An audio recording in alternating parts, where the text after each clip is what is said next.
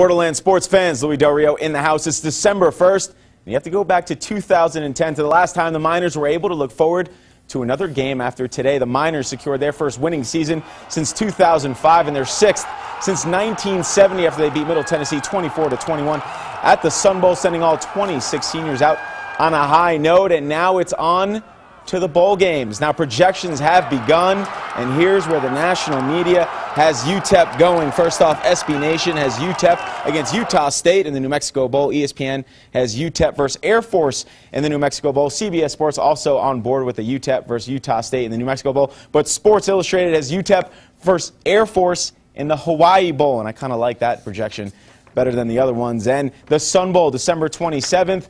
SB Nation has Duke versus Utah. ESPN has Louisville versus Notre Dame or Utah versus Notre Dame. CBS Sports has NC State versus Utah. And Sports Illustrated has Louisville versus Utah. So Notre Dame might be headed back to the Sun City. Now, that'll